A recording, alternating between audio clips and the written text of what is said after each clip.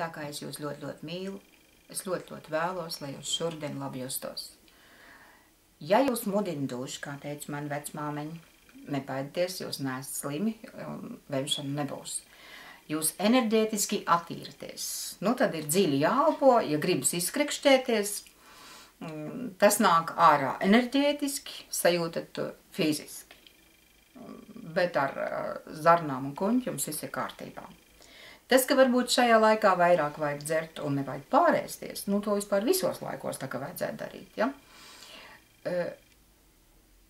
Tas, ka tagad vajag to ingvertēju, ja? tāpēc, ka temperatūras maiņas naktis būs vēsākas, dienas būs siltākas un tas būs labu laiku, jāsāk pierast, ingvertēju un dzērviņu sulu. Kam ir sablenderēts, sasaldēts, vienalga kādā veidā, uh, to dzērvinīt pielikt ingvertējai klāt. Tas būs vitamīns, un ingvers būs tas, kas mūs izkarsē. Nu, kad šādu tēju iedzer, tad šeit ir karsti, te ir karsti, un pēc tam uz vēdra karsti. Viss kārtībā.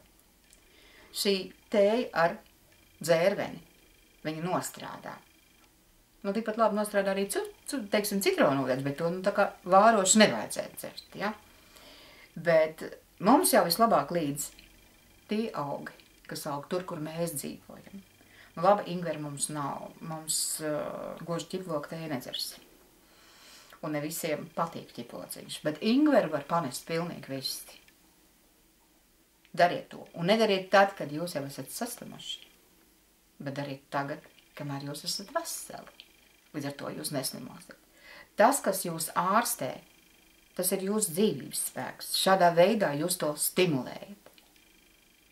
Ar domu arī, protams. Parādāt vīrusam pigu, kas jūs to neprotat.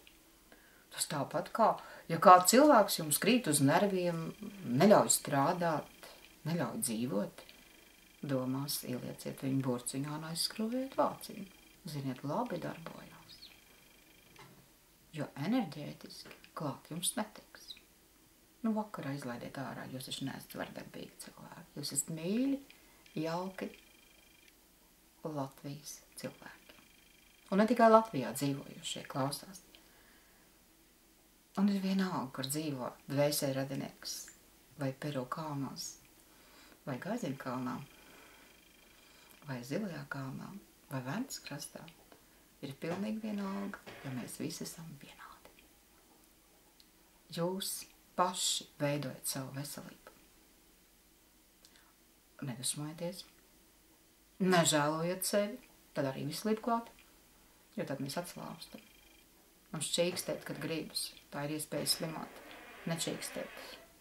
Un ļoti bieži ir jāsaka tā, ā, tev tur sāp, tas ir labi, tu esi dzīvs. Tad, kad šur un tur iesāpās, vai es neteikšu kā sāpe, bet ja jums tagad kāds pieķēries un tā kā iekodas, grib tā kā pakasīties, ja? Tie tie mošķīši, kas tagad visiem grib klipkāt, jo viņam drīz būs jāiet projām. Nebūs uz zemes viņam vietas. Kādu laiku būs miers nu tad var jau arī pakasīties. Nu, šitā te, vai ne? Vai jums grūti? Skatieties, kā bērni to dara. Viņi prot. Bet tad, kad viņi sāk runāt, tad pieaugušie viņus sabojam. Un, protams, apkampjaties. Samīļojiet viens otru. Pasakiet paldies un lūdzu.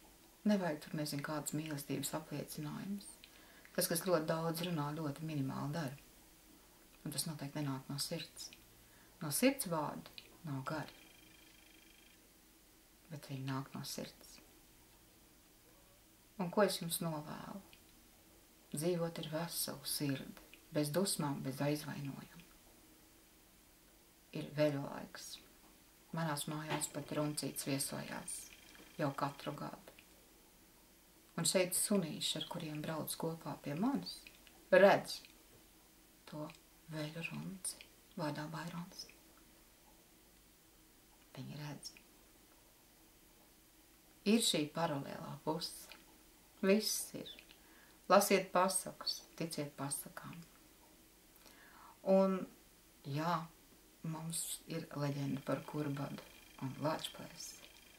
To gan nevajag burtiski uztvert, kā pus zirgs, pus cilvēks.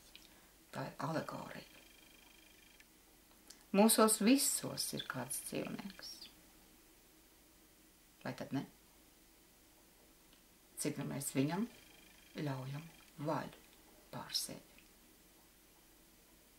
Mana mazmeita, kad spītējās, tad saka, ka viņa esot tauns.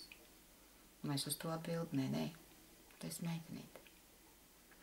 Tā kā nevajag jau nu tik ļoti tām horoskopu zīmēm attaisnot savu slikto raksturu, jo raksturs ir tas, ko jūs varat paši mainīt.